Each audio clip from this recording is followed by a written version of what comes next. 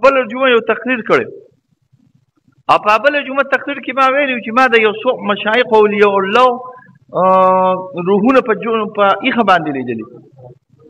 دا خو لا پرېده اوس یې درته نور هم سختوم او په کتاب به درته ثابتوم دلته یو دی اتر پالي ملا ورته وایي که څه وایي ورته خلک ابو نقصان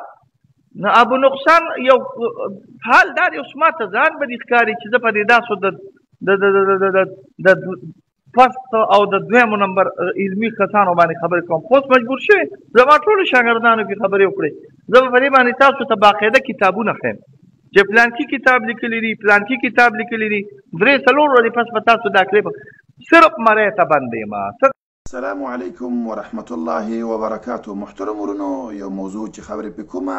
پیر ګوهرشه صاحب دی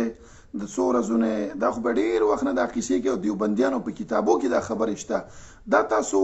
ناشنا مه ګڼئ چې لکه یو دیوبندي دی هغه راجک شو هغه دا خبرې وکړي چې ما ابو حنیفه رحم الله په مسجد کې ولیده او زموږ فلانې مولا چې و نبي علیه السلام یې لیکلی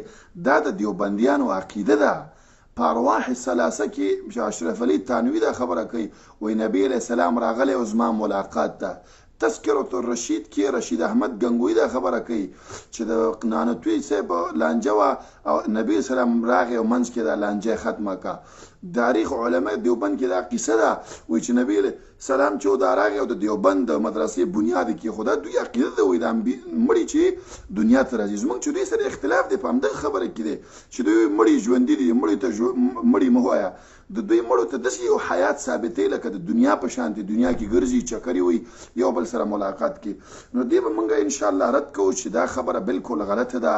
مړي دنیا ته نشي راتلی دوی سره ملاقات نشي کېدلی او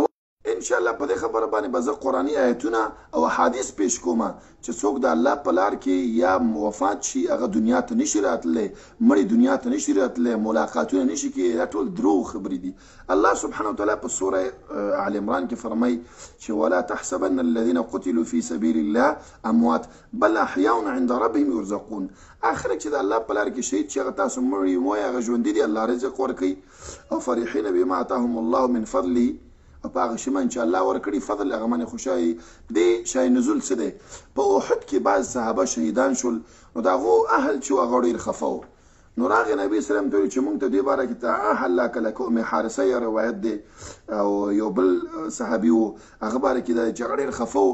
نو نبی علیہ السلام هغه ته ویلي د ابن عب... د ابو داود حدیث دی ابن عباس نقل لې و دې مړو چې کله د خلک احد کې شهیدان شو دوی الله ته ویلي چې الله پاک منګه ته ډیر نعمتونه ملاو شو ځکه حدیث کې راځي چې دوی روحونه الله په مرغو کې واچول او هغه په جنت کې ګرځیدل دا خو مزه دي نو هغه الله ته ویلي چې منګه دنیا ته بوزه چې دوباره د خلکو ته خبر ورکو چې ګوره منګ پسې خفکیږي ما منګ دسه مزو کیو الله ورته ویلي چې دسه کار خو نشي کېدلی زه به ستاسو خبر دی دنیا والا ته ورکم مړی نشی راتلی مړی خبرونه نشی ورکولی کنی دا د احد شهدا دی اهل چی خفه وو خپلو پلرونو پسی خپلو ورونو پسی خپلو خاوندانو پسی راغلی به وو دنیا ته پیر کوهرشاه ته راځی اشرف علی ته راځی نانتوی ته راځی او دا چی جلیل قدر صحابه چی د هغوی په اولیاتوب معنی هیڅ شک نشته دی هغو ته خپل اهل نه راځی ها او الله په قران کې دا غوي خبر مونږ ته نقل کوي او الله ورته وی چې نه تاسو دنیا ته تتلې نشي ګور دوه دلیل په شو یو بدايت دی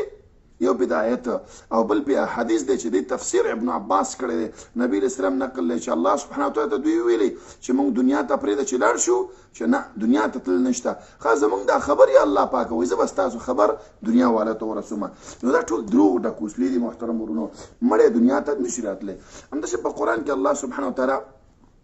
فرمای د دغه باره کې د سوره انبیاء باره کې دي الله سبحانه وتعالی وایي چې وحرام علی قريه یعنی دا حرام کړی شوی دی په کلو والا باندې چې اهلک نه چې کله دوی هلاک کړی شي انهم لا يرجعون دوباره دنیا ته واپس سینشته الله وی دوباره واپس نشته دا حرام دی بعضی قانونونه د الله هغه قانون نه چې ما فوق ال...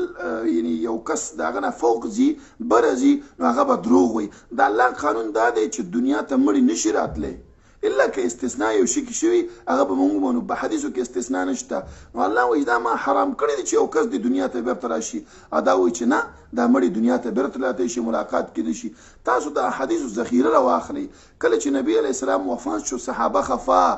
ابو بکر لانو عمر لانو حتی تر واخیستله چې څوک به دسی چې نبی اسلام بارک وي چې دا وفات شوی دی د ډېر د غم د وجنه اوس چې مړی دنیا ته راتلی شي په ویښه ملاقات کېدلی شو